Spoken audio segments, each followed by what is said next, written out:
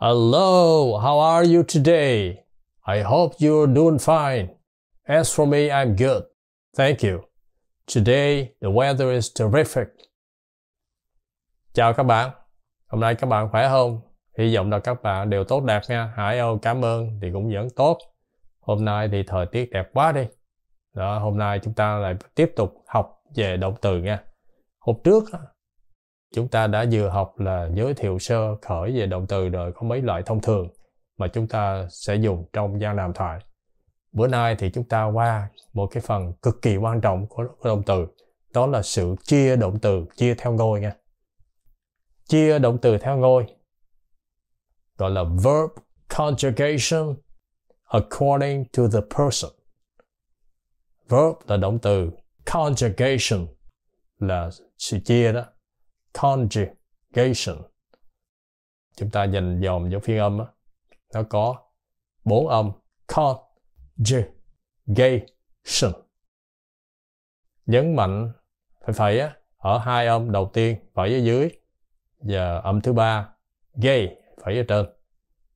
Conjugation. Sự chia động từ according to theo đó tùy theo. The person person là ngôi nha. Cái chữ person đó bình thường cái nghĩa thông thường của nó là một người. Person nhưng mà trong ngữ pháp thì nó lại có nghĩa là cái ngôi ấy nha. Có tất cả trong một câu nó có sáu ngôi. Chủ từ nó có thể là một trong sáu ngôi nha. Six persons. Thì six persons đó, sáu cái ngôi nó là cái gì? Ngôi số 1 ngôi 1 số ít ngôi 1 số nhiều. Là một cặp. Ngôi 2 số ít ngôi 2 số nhiều. Cặp thứ hai ngôi 3 số ít ngôi 3 số nhiều. Cặp thứ ba. Chúng ta dòm tức là ba cái cột đó đó trong cái bảng này. Chúng ta dòm vô cột đầu tiên là ngôi 1 đó, đó. Thì nó gọi là first person. Tức là ngôi thứ nhất. First là thứ nhất á. Person là ngôi singular singular. Singular. Thì singular là ít. Plural plural là nhiều nha. Plural plural. Giống như lúa đó lúa xay lúa vậy đó. Plural plural. Rồi. Đó, first person singular first person plural là cái ngôi một số ít là tôi I số nhiều là we. Ai là tôi xin mình xưng ra tự bản thân mình. We là chúng tôi, chúng ta. Tuổi anh. Đó, mình xưng tùy theo tiếng việt nam mình nói đó. Thì là bản thân mình. Ngôi hai. Có số ít và số nhiều. Gọi là second person singular hoặc là second person plural. Second là thứ hai, person ngôi hai singular plural chúng ta biết rồi. Singular của ngôi hai là you, là anh, hoặc là cô, hoặc là chú, bác, bạn thì cái nói cái người đối diện mình nói đó, một người. Hoặc là nếu mà nhiều người thì mình nói các anh. Mấy cô, mấy chú, bác hay là gì đó, mấy người mình cũng gọi là you luôn. Ngôi thứ ba thì đó là mình chỉ là cái đối, không phải đối tượng mà cái nhân vật thứ ba đó, mà không có mặt ở đó. Mình nói về cái người nhân thứ ba, ngôi thứ ba, thì nó gọi là third person. Third là thứ ba, person, ngôi. Singular là số ít, hoặc là nó có third person plural, số nhiều. Nếu mà số ít thì nó là cái gì? Là he, tức là anh ta, cậu ấy gì đó. She, cô ta, bà ta gì đó gì ta gì ấy it là nó cái cái đó đó cái vật đó hay cái gì đó mình nói là ngôi thứ ba.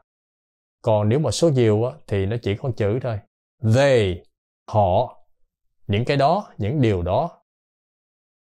Nói chung là they. Như vậy là chúng ta thấy rồi đó. I we là ngôi thứ nhất. You là ngôi thứ hai số nhiều số ít.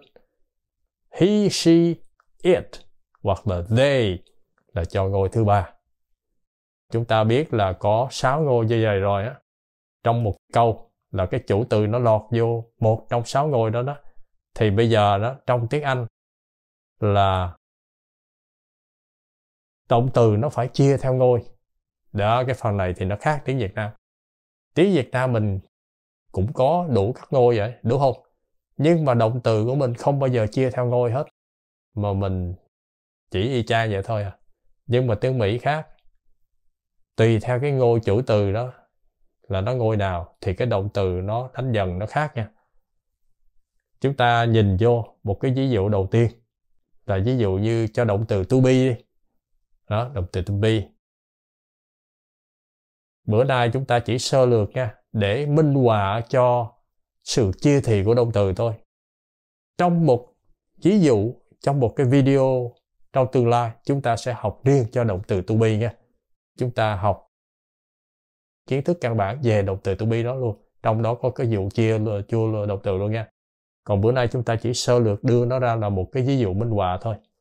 Đó, động từ to be này, xong chia thì này đó chia chia ngôi này đó chúng ta thấy rồi đó ví dụ như là, I am happy. Tôi vui vẻ. Trong lòng tôi thấy vui đó. I am happy nếu mà ngôi nhất câu số 1 mà số ít. I thì nó phải là am. Cái to be nó trở thành am là am á. Đó, đọc nửa a nửa e nha. Am I am happy. Nhưng mà nếu mà ngôi thứ nhất mà số nhiều tức là chúng tôi chúng tôi vui lắm thì nó lại đổi qua là are are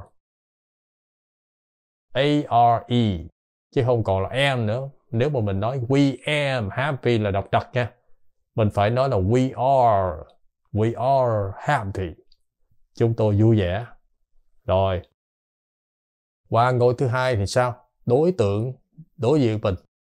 Bạn, happy. Anh vui lắm. Tôi dòm thấy cô, vui lắm. Cô thì vui phải không? Thì là you are happy. Thì cũng xài là are chứ không được nói là you am happy nha you are happy.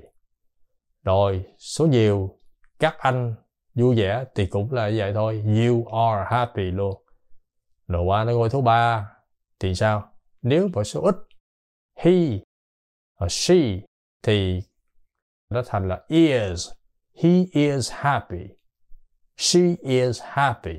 Xài cái is nha. Hoặc là nếu mà it đó, thì ví dụ mình là cái đó màu xanh ít là cái cái cái vật đó đó thì nó không thể happy được cho nên mình cho một cái ví dụ khác. Ví dụ như cái đó màu xanh. Đó, màu xanh it is green thì nó cũng do to be nó trở thành is tức là ngôi thứ ba mà số ít thì động từ to be nó biến thể thành là is i s is. Còn nếu ngôi thứ ba mà số nhiều á thì nó cũng là are. Ví dụ như they are happy they are happy. Thì à, chúng ta thấy đó, cái động từ to be nó nó chia thì như vậy. Có nghĩa là nó tùy theo cái ngôi nha. Bữa nay chúng ta coi để có khái niệm thôi, để biết về cái sự chia thì. Không cần nhớ hết, để trong tương lai chúng ta sẽ học riêng về cái động từ to be này khi đó chứ. Mà không riêng về động từ to be, trong thời gian cả năm tới đó, khi mà chúng ta học đến cả mấy trăm động từ luôn, cả ngàn chữ, trong đó có rất nhiều động từ thì chúng ta mỗi động từ chúng ta học chúng ta đều học cách chia chia động từ hết nha.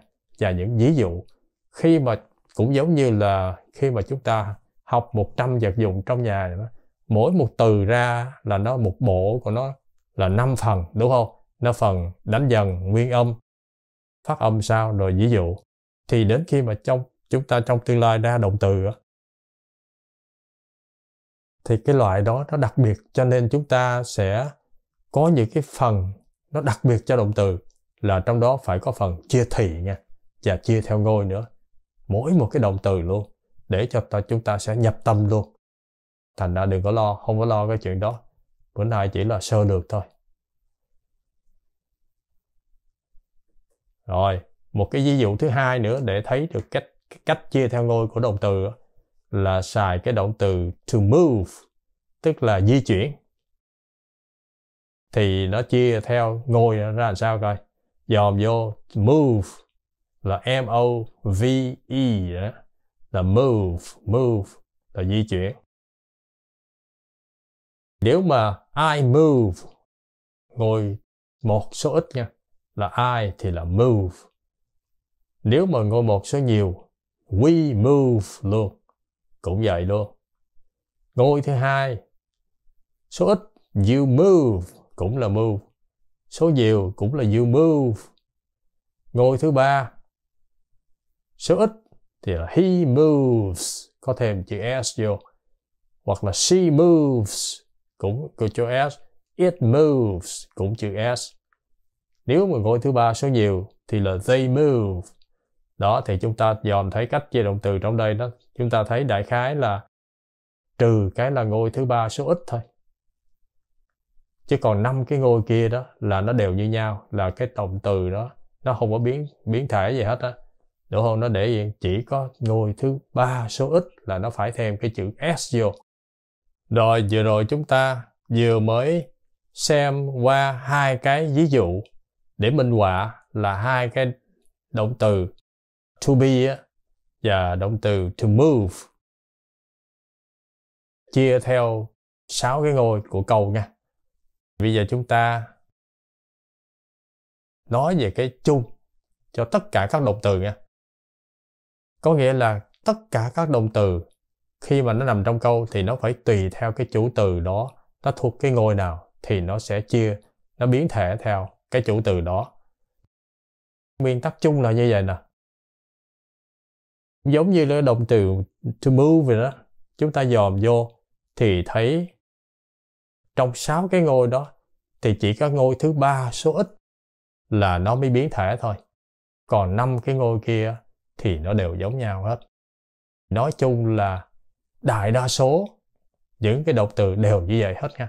Là nó đều không có bị biến thể, cùng giống nhau hết cho năm cái ngôi đó, trừ ngôi thứ ba số ít thôi chỉ có một số ngoại lệ là những cái động từ đặc biệt thôi, thì nó mới biến thể qua một vài cái ngôi khác nữa. Nhưng mà không sao, các bạn yên tâm đi đi. Khi mà chúng ta biết được cái luật chung đó, các cái động từ bình thường trong tương lai đó, tự động chúng ta biết là khi ngoài học cái động từ đó ra, mình chia theo cái ngôi đó là mình phải biết ngôi thứ ba số ít, mình thêm cái chữ s vô. Còn những ngôi khác thì ok hết nha khi nào mà những động từ nào nó ngoài lệ đó, đặc biệt thì chúng ta khi mà học động từ mới đó, Hải ôn cũng sẽ nhấn mạnh vô là cái động từ đó, nó chia những ngôi nó khác ra sao nha. Còn bình thường đó là chúng ta đều hiểu ngầm hết nha, là động từ đó nếu mà không chỉ ra thì nó là nó chia theo bình thường, tức là năm ngôi kia nó đều không biến đổi hết nha. Chỉ cái ngôi và số ít là nó thêm chữ s vô thôi. Có những trường hợp khi ngôi ba số ít, nó thêm chữ s, có khi nó biến thể, nó thêm cái es vô. Thì chúng ta khi vô những động từ trong tương lai, học từng động từ một đó, chúng ta cũng sẽ học cái đó nha.